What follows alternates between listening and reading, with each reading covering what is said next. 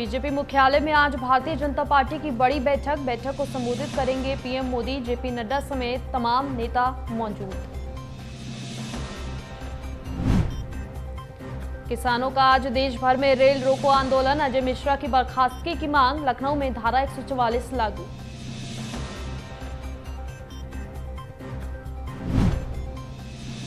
कानपुर देहात में किया गया ऐतिहासिक रामलीला का आयोजन श्री राम लक्ष्मण के राज्याभिषेक के साथ संपन्न हुआ कार्यक्रम। कलाकारों को किया गया सम्मानित। हरदोई में अस्पतालों में नहीं थम रहा अव्यवस्थाओं का दौर। मोबाइल टॉर्च की रोशनी में किया जा रहा है इलाज। सोशल मीडिया पर वीडियो हुआ वायरल।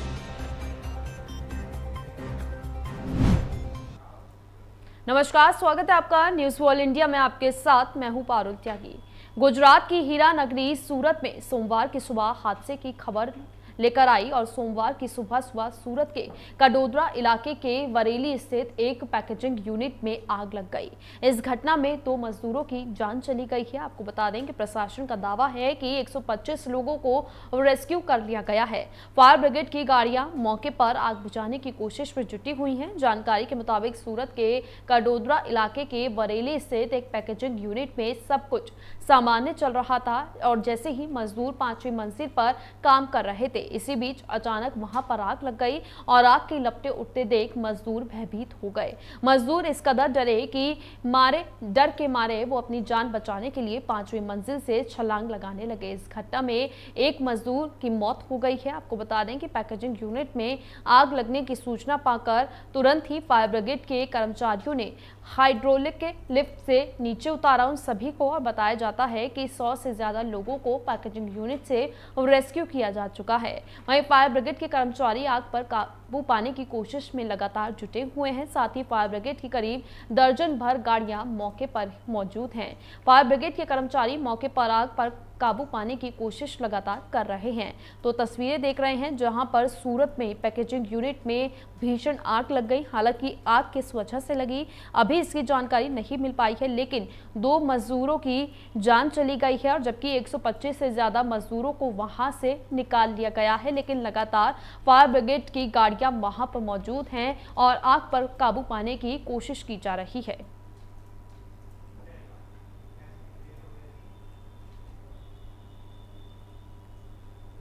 एआईएम आईएम प्रमुख असदुद्दीन ओवैसी ने बड़ा बयान दिया है। ओवैसी ने कहा कि मुस्लिम यादव कॉम्बिनेशन से बीजेपी को हराया नहीं जा सकता। बीजेपी को हराने के लिए ए से लेकर जेड तक कॉम्बिनेशन तैयार करना होगा। अगर अखिलेश यादव सोचेंगे कि 19 परसेंट मुसलमान उनको वोट देता रहेगा और वो इन्हीं वोटों पर राजनीति करेंगे तो ऐसा नहीं हो सकता। तो विधानसभा चुनाव को लेकर लगातार ओवैसी भी इस बार चुनावी मैदान में उत्तर प्रदेश में नज़र आएँगे। तो इसको लेकर ओवैसी ने ये बड़ा बयान दिया है। उन्होंने कहा है कि बीजेपी को हराने के लिए इस बार ए से जेड तक का कॉम्बिनेशन तैयार करना होगा।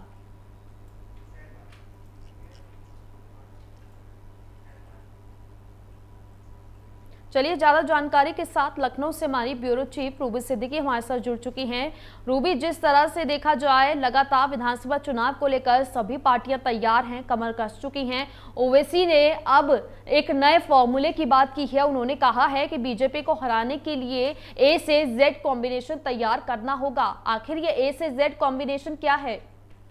पारुल, देखिए इस बार का चुनाव वाकई में दिलचस्प होगा, क्योंकि अब जो आमना सामना देखने को मिल रहा है, भाजपा और बीजेपी का मोर्चा दिख रहा है। तो कहीं ना कहीं जातिवार सम्मेलन होगा और इकतीस अक्टूबर को उन्होंने कहा है, पिछड़ा वर्ग होगा जिसमें। ए टू जेड जो का कहना है वो जातीय सम्मेलन में लोग शामिल होंगे जिसमें प्रजापति भी होंगे कुम्हार समाज का भी होगा इसी सम्मेलन।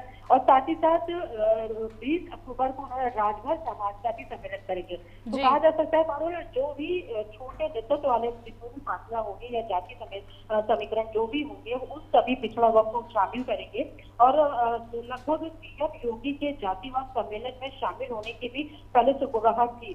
लेकिन अब ऐसा विराम ये लग चुका है कि भाजपा ओबीसी जो मोर्चा है वो सीधे सीधे जातिवाद सम्मेलन ही करेगी और वो इकतीस अक्टूबर को करेगी यानी कि सुबह ग्यारह बजे इसका सुबह भी शुरू होगा और पंचायत भवन में होगा तो कुल मिला के देखा जा सकता है कि अब भाजपा और ओबीसी की सीधे सीधे यहाँ पे सामने देखने को मिल रहा है। बिल्कुल, रूबी यहाँ पर ओवैसी ने यह भी कहा है कि अखिलेश यादव अगर सोच रहे हैं कि 19 परसेंट मुसलमान उनको वोट देता रहेगा और वो इन्हीं वोटों पर राजनीति कर कर आगे बढ़ेंगे और जीत जाएँगे तो ऐसा नहीं होगा। बिल्कुल वरुण क्योंकि पहले से भी कहा यही जा रहा था कि ओबीसी की जो पार्टी है, वो निश्चित तौर पर मुस्लिम को हिलाने के लिए बिल्कुल तैयार है और खासतौर से विधानसभा चुनाव में मुस्लिम वोट इसमें ज़रूर कन्वर्ट होगा।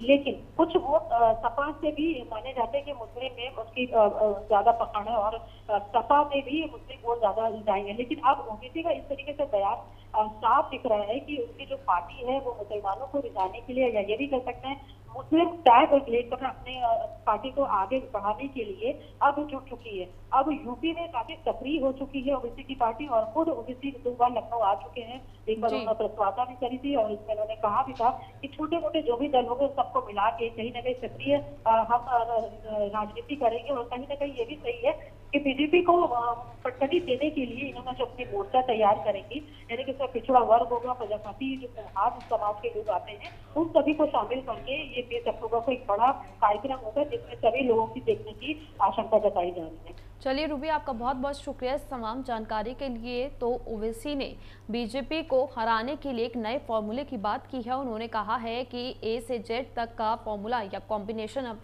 जो है वो अपनाना होगा, अगर बीजेपी को हराना होगा। साथ ही अखिलेश यादव के लिए भी उन्होंने बोला है कि 19 परसेंट मुसलमानों का वोट उन्हें अगर मिलता रहेगा तो इसी वोट पर अगर वो राजनीति करने की बात सोच रहे हैं, कह रहे हैं तो ऐसा नहीं हो सकता। क्योंकि इस बार Muslim vote bank Akhilesh Yadav Yadav को नहीं मिलेगा।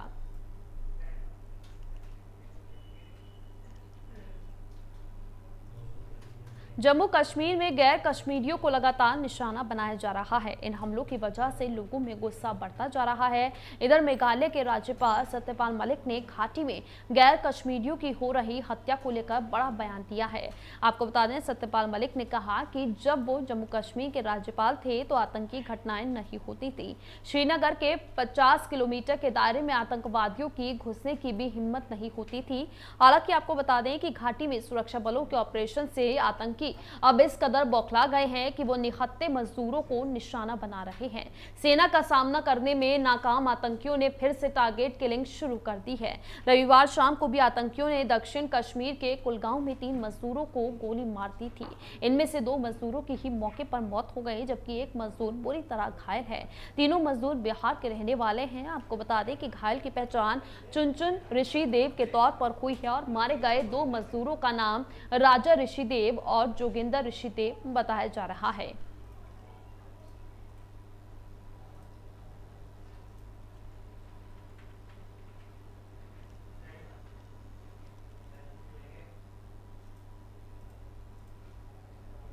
बलरामपुर में रविवार को तेज धूप के बीच दोपहर में तेज हवाओं के साथ हुई बारिश ने एक बार फिर से किसानों की कमर तोड़कर रख दी है। धान की फ़सल का भारी नुकसान हुआ है, ऐसे में गन्ने की फ़सल गिर चुकी है। बारिश के चलते तिलहनी और दलहनी फ़सलों की बुआई भी प्रभावित हुई है। ये बता दें, बेमौसम की बारिश और तेज हवाओं ने एक बार फिर से अन्नदाताओं को चिंतित कर दिया है। खेत में कटने को तैयार धान की फ़सल गिर चुकी है और कटी धान की फ़सल भीगने से या तो कीड़े पड़ जाएँगे या फिर ज़मीन के संपर्क में आने से अंकुरित हो जाएँगे। ऐसे में किसानों ने बताया कि धान की फ़सल गिरने और भीगने से धान की उपज में 10 से 15 फ़ीसदी फ़सल प्रभावित हो सकती है। तो तस्वीरें देख सकते हैं ये आप बलरामपुर की, जहाँ पर कल से ही लगातार हो रही बारिश से किसानों के चेहरे पर मायूसी है, किसान परेशान है क्योंकि जो फ़सल कटने के लिए अब तैयार हो रही थी और तैयार हो भी चुकी थी, कई फ़सलें तो ऐसे में बारिश की वजह से और तेज हवाओं की वजह से फ़सल पूरी तरह से बर्बाद हो गई है। अरे उससे हमारा धान पूरा गिर गया, गन्ना पूरा गिर गया। पानी पूरा भर गया। अच्छा। सरकार से आप क्या चाहते हैं? अरे सरकार से चाहते हैं कि कुछ सहारा दे। हम लोग कैसे जिएँगे? हरदोई सदर से विधायक नितिन अग्रवाल ने बीजेपी प्रत्याशी के रूप में विधानसभा उपाध्यक्ष पद के लिए नामांकन दाखिल किया है। इसके बाद ज़िले में उनके समर्थकों में खासा उत्साह देखने को मिला। साथ ही पूर्व अध्यक्ष, नगर पालिका राम प्रकाश शुक्ला के आवास पर आतिशबाजी और मिठाई का वितरण कर खुशी भी जताई गई, जिसमें मुख्य रूप से टिंकू त्रिवेदी, अमित त्रिवेदी, रानू सभासद और अमित वाजपेयी समेत तमाम कार्यकर्ताओं ने बीजेपी का आभार भी व्यक्त किया।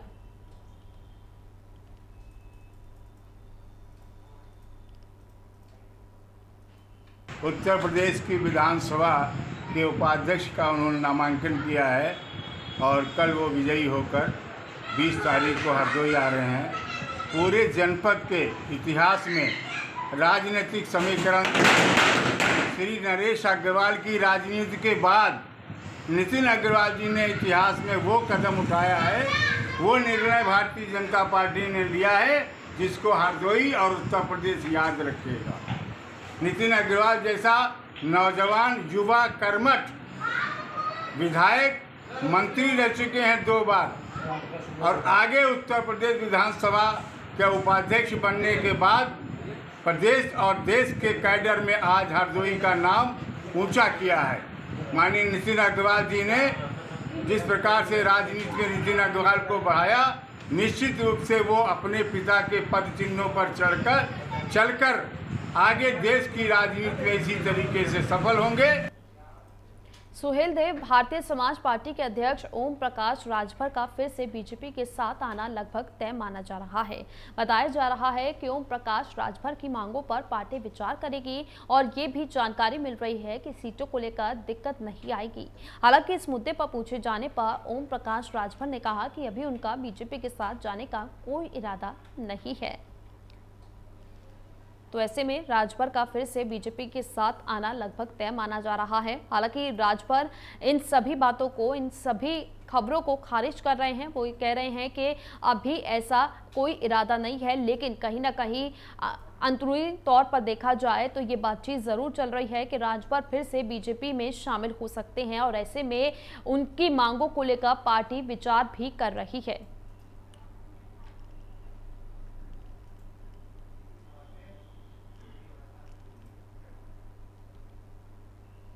लखनऊ से हमारे संवाददाता ब्यूरो चीफ रूबी सिद्दीकी हमारे साथ एक बार फिर से जुड़ चुकी हैं। रूबी, माना जा रहा है कि ओम प्रकाश राजभर बीजेपी में आ सकते हैं, लेकिन वो कहीं ना कहीं सभी बातों को खारिज भी कर रहे हैं। आखिर सच क्या है?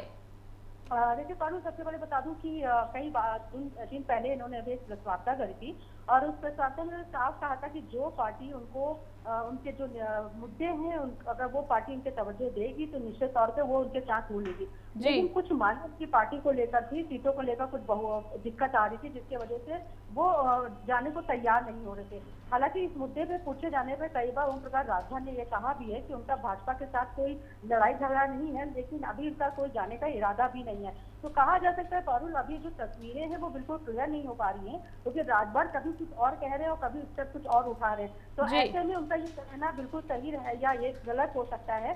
कि वो किस ओर बैठेंगे यानी कि उनकी जो पार्टी है वो किधर जाना चाहती है क्योंकि इससे पहले भी जब सपा से उन्होंने बगावत करी थी फिर उन्होंने बीजेपी का दामन थाम लिया था। बीजेपी के दामन थामने के बाद लगातार उन्होंने योगी सरकार पे हमला बोला था जिसके वजह से उनको बाहर का रास्ता दिखा दिया गया था।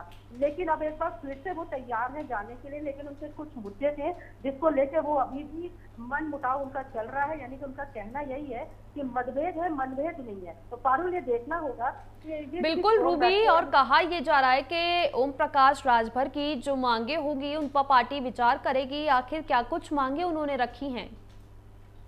देखिए शुरू से ही इन्होंने कई मांगे ऐसी रखी थी जिसमें इनके जो जीते हुए एमएलए हैं उनको विधायक उसमें जगह दी जाएगी। खास तौर से इनके जो जातिगत समीकरण थी उसको लेकर उन्होंने बातचीत करी थी। छोटे नीचे दबके के जो लोग थे, उनको लेकर उन्होंने कहा था, हमारे पार्टी में उनको जगह दी जाए।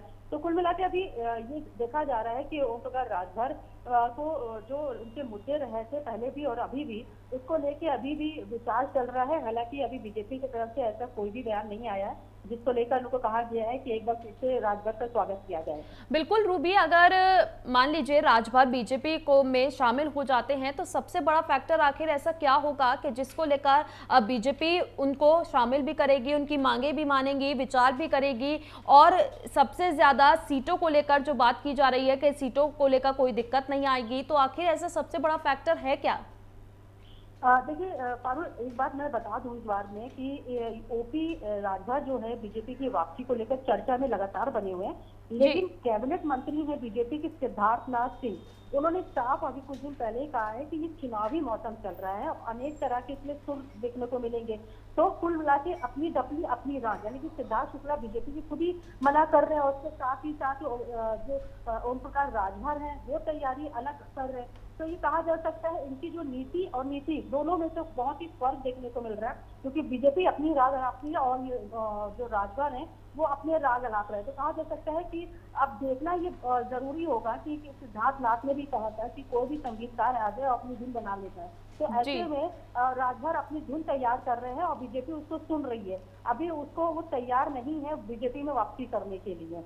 चलिए रूबी, आपका बहुत बहुत शुक्रिया इस तमाम जानकारी के लिए। तो ऐसे में कहा यह जा रहा है कि ओम प्रकाश राजभर बीजेपी में उनका आना लगभग तय माना जा रहा है। हालाँकि राजभर की मांगों पर भी पार्टी विचार करेगी, ऐसी जानकारी मिल रही है। लेकिन जब राजभर से ही इस बारे में जानकारी लेने की कोशिश की गई तो उन्होंने साफ़ तौर पर कह दिया कि अभी उनका ऐसा कोई इरादा नहीं है।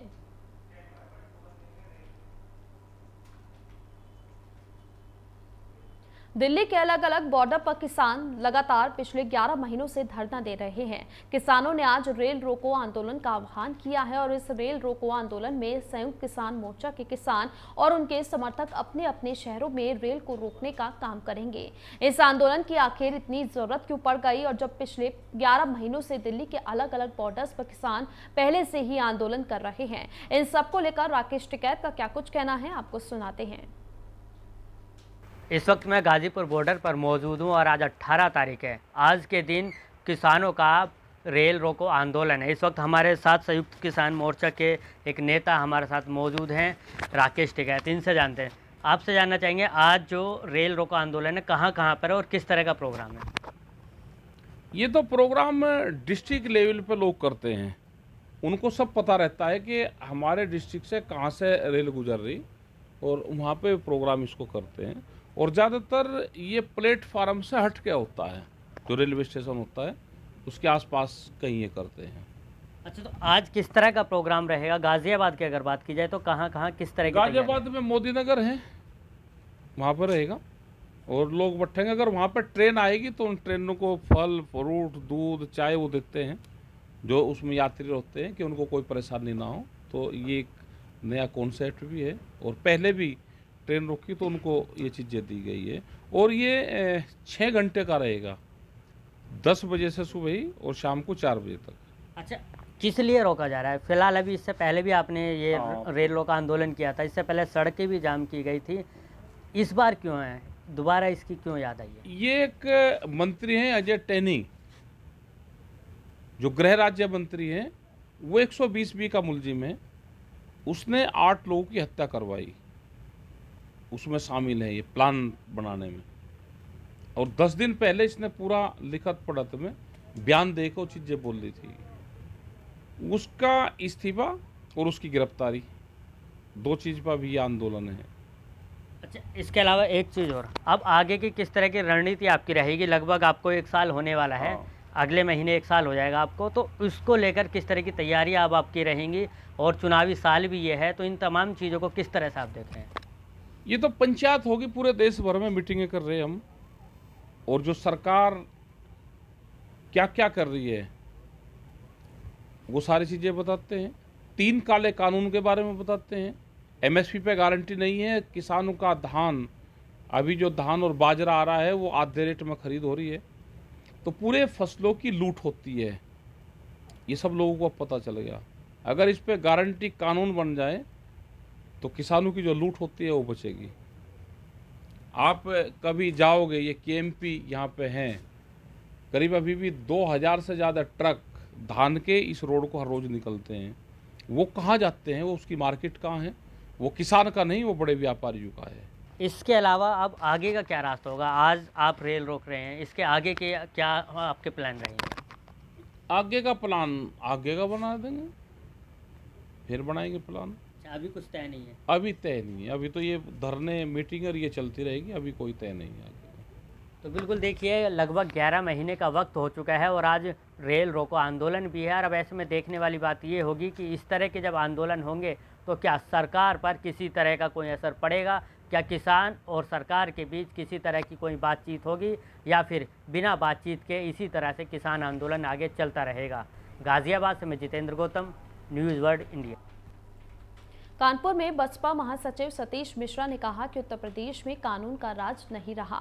यहाँ पर हत्या, लूट, बलात्कार जैसी घटनाएँ तेज़ी से बढ़ी हैं। मौजूदा सरकार इन घटनाओं पर अंकुश लगाने में असफल साबित हो रही है।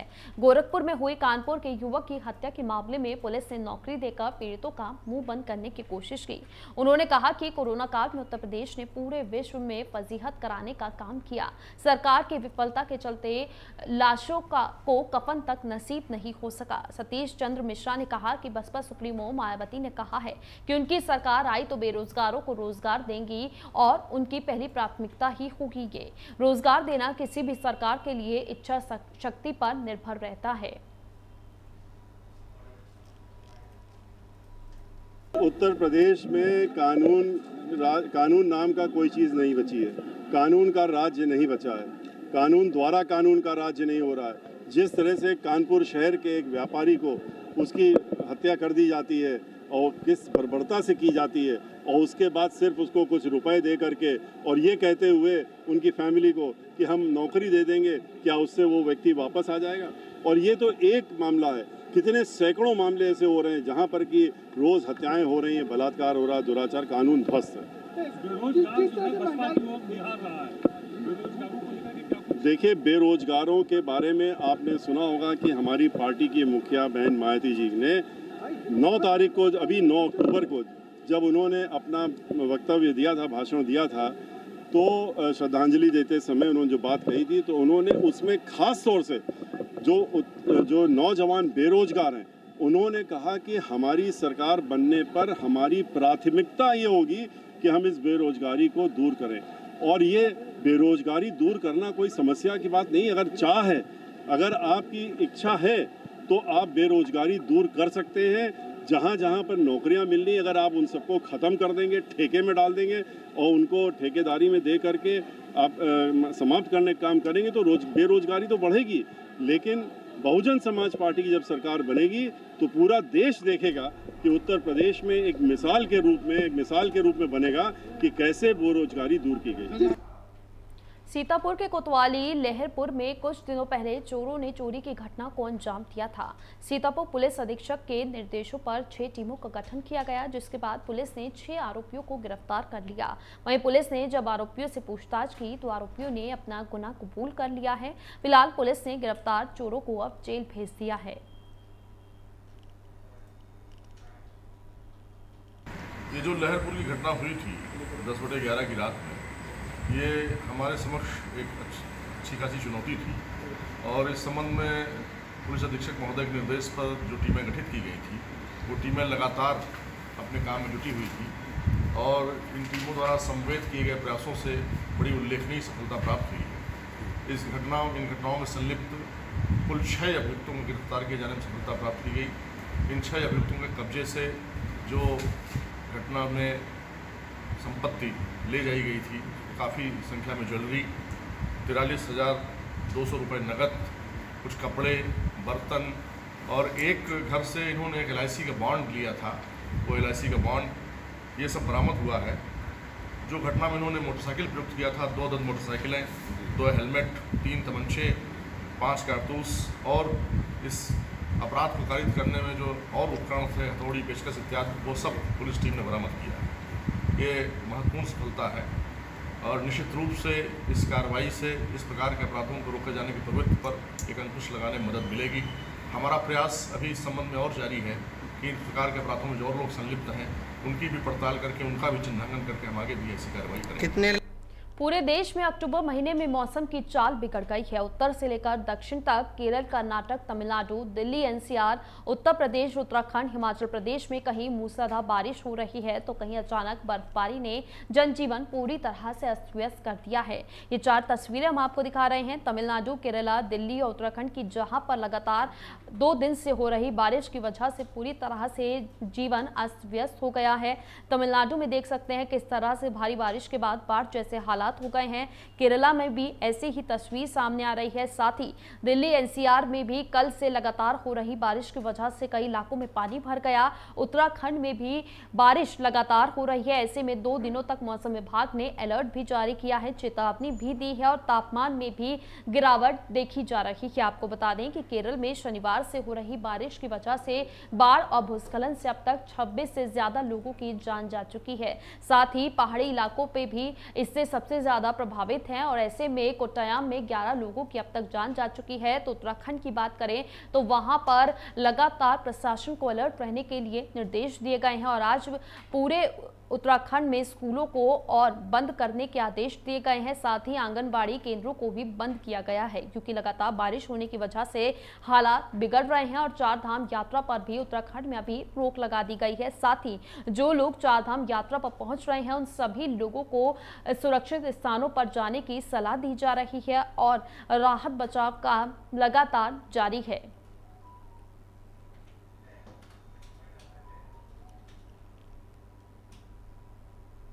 इसी के साथ इस बुलेटिन में फ़िलहाल के लिए इतना ही। आप देखते रहिए न्यूज़ वर्ल्ड इंडिया।